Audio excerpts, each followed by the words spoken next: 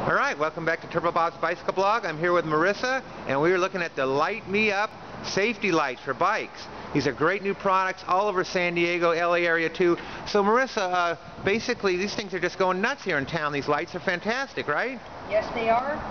The reason for that is that they're very bright.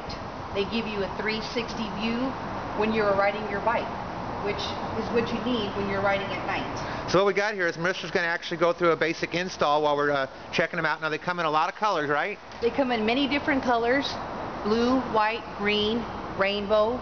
Uh, they come in uh, lengths of 7 feet. They take three AA batteries with an off and on switch. Cool thing about it is that you're going to get about 50 hours of usage out of this. And when you replace the batteries, you can use any batteries. It doesn't matter what batteries they are. Any type keep them going. Okay?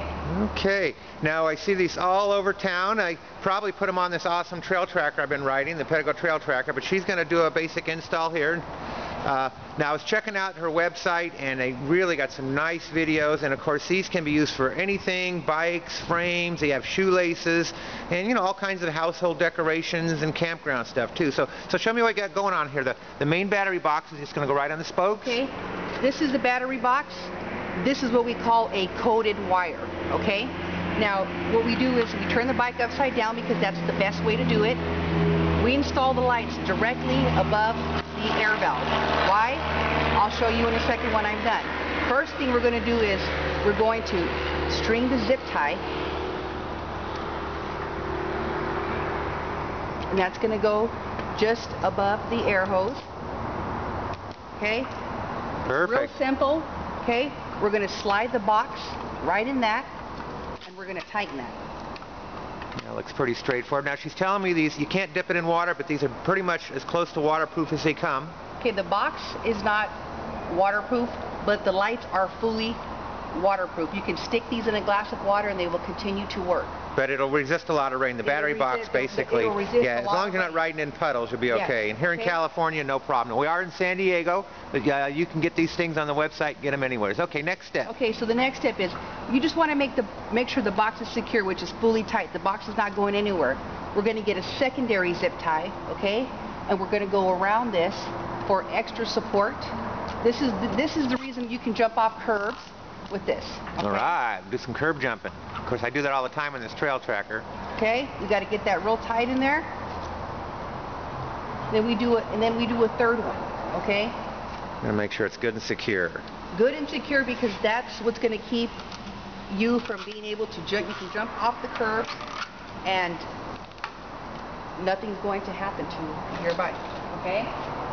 So once we got those done, And she's gonna trim those flush we're with going a real to nice flush cutter. when we're done. Never leave Yeah. any sharp edges on your Never leave ties. any, nope. Yeah. Okay, now this coated wire. This coated wire is going to keep getting wrapped up all the way up the straight wire here. It's going to keep going nice and tight. Okay, and you can, as you can see, you can pull on these. You can tug on this. Real simple. Okay, another good, another good thing is you need to keep the light on when you are installing these lights. Why? Because you want to make sure that there's not a short anywhere while you're installing these lights. That's a great tip. So make sure they're on during the, during Make the sure install. they're on during the entire install because if you don't have them on and you finish and then you find out there's a short, then you did all the work for nothing.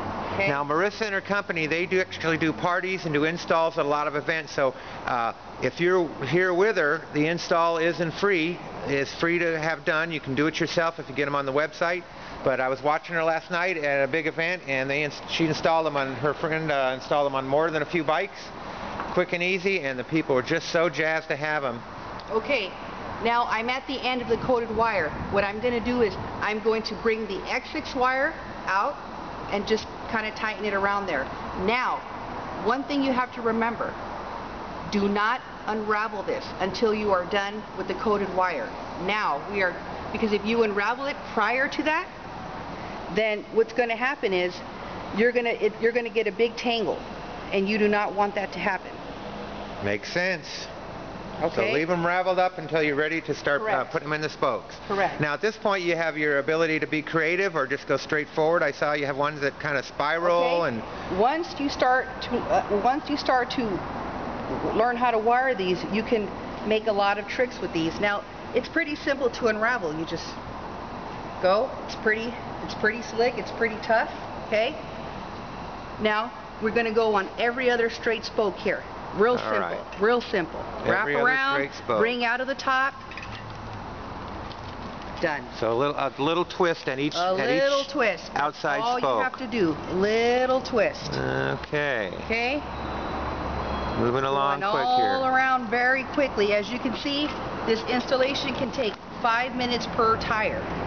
That's very quick. Okay? As you can see, we're just wrapping it around each spoke.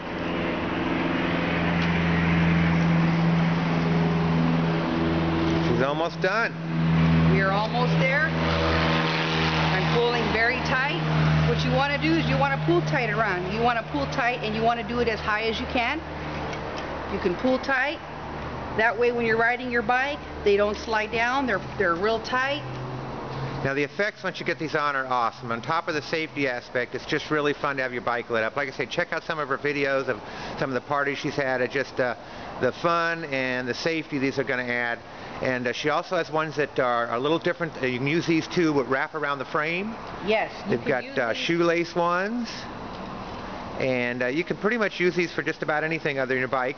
And I, apparently the ones with the uh, the spirals in them was the second one that was kind of spiraling in addition to these ones. Correct. And you got rainbow ones, ones in straight colors.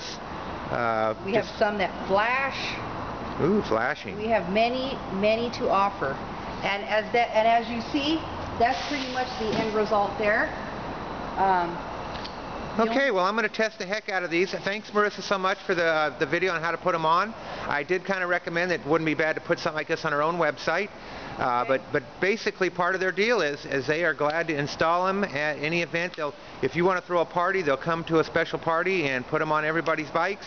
And the, the uh, cost on these babies is incredibly reasonable. Ten dollars. Here's a cool thing about these lights. If you have extra of these lights, here's all you have to do. And they still work. Boom, just like that. Fantastic. All right, well, thanks, Marissa. Uh, you're going to see more of these from me, and these things are all over town. I sure appreciate you uh, uh, showing me these and uh, getting me set up to do some great riding with lights at night. Thank you very much. All right.